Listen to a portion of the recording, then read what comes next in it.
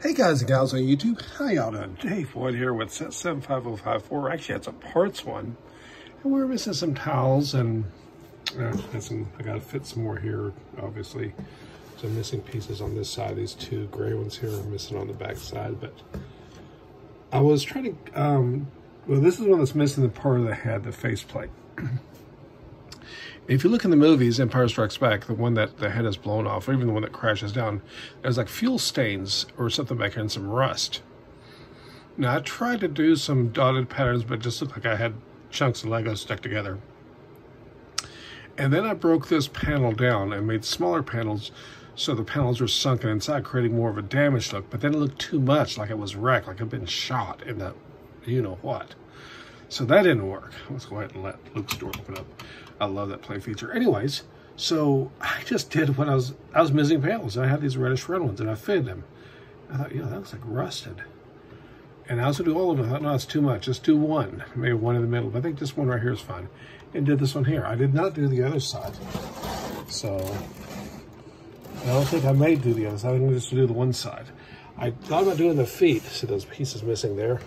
Yee thought about doing like panels here, but it looks too square. And in the movies, the feet look fine. Just the most of the rust damage is back here and along edges. It runs down, which you know looks like it's real. So and there's like some damage here, but this is Lego, so you're a little bit limited. Anyways, just some thoughts from the community on that.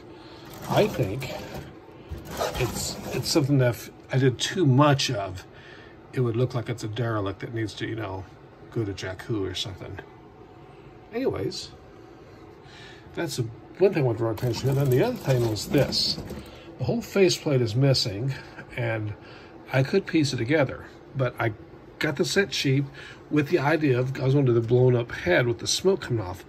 But doing the black smoke gray, I was really hard because gray and white smoke pieces look great, especially some black. But when you're got a gray build, it's hard. So Lori suggested I should do like a fiery explosion, like the scene that's not shown in movies where the, the snowspeeder crashes in, or maybe we can pretend it's one that Luke blows up from the bottom. I mean, the plug is already open, so. I was trying to do the flame pieces. Originally, I just had them stick up, but it didn't look right. So I took this boulder piece. Now, granted, this is just a mock-up. I will have to use a trans orange boulder here. And I can use the side pieces to have the flames coming out here. I'm not sure what to do here. May I just be the explosion? I can do reverse studs here, have some flames coming down. But maybe just a fireball from the inside with the whole face gone now maybe that's that's the winning thing.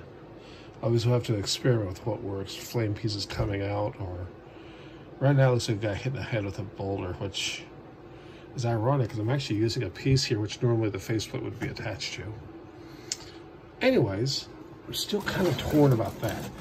I like this effect really, and if I do ever did a Hoth I would do some weathering on each one of these, just to one to dif differentiate, you know just to make it a little bit different. But I do look, love this plate feature. I love the door these things, and I love the way these sides open up.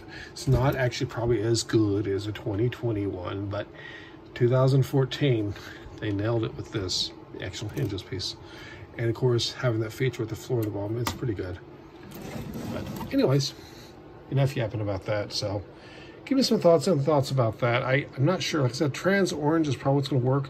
I don't know if I should use, I think a single ball, single explosion coming out, or maybe I can use a round disc with explosions coming out this way. One of those uh, 4 by 8 pieces, or the little ones I use for like spider droids. One of those here with the flames coming off in different directions. That might be better. But anyways, y'all take care. Appreciate the views out there, the great community. Let's keep building and let me know what you think and MOCs you're doing and what you about think about play scale ATATs and stuff. Y'all take care. Ciao.